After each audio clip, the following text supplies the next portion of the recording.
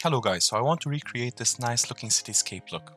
So I have here six colors, three of them represent the bright colors as you can see here, and three colors represent the dark, which are on the other side, the shadow colors. So get the pen tool and draw a simple line. And give it a black stroke and give it a weight of 7.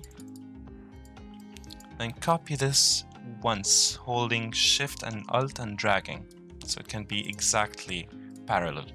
Then Control D to repeat on all of the artboard. Then select all of them, Control G to group, then Control C to copy, edit, and paste in place. Then go to Window, Properties, and give it a 60 degree angle to the copy. Okay, then copy this one and edit, paste in place, and reflect the third copy vertically. And now you have the isometric pattern. So group all of them together and enlarge so the intersection of the three can take the whole artboard.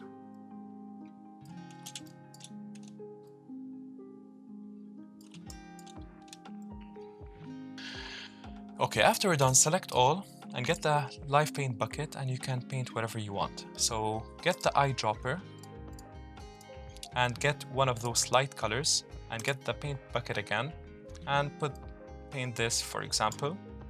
Then the eyedropper again on the dark colors and paint the other side. So the dark is on the right and light is on the left and white is on top where the light mostly come and I'm gonna do the others in fast motion.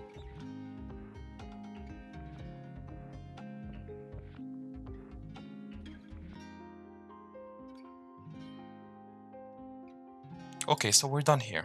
Okay, select all and remove the stroke. Now it's much more smooth. Get a rectangle and draw on top of it a rectangle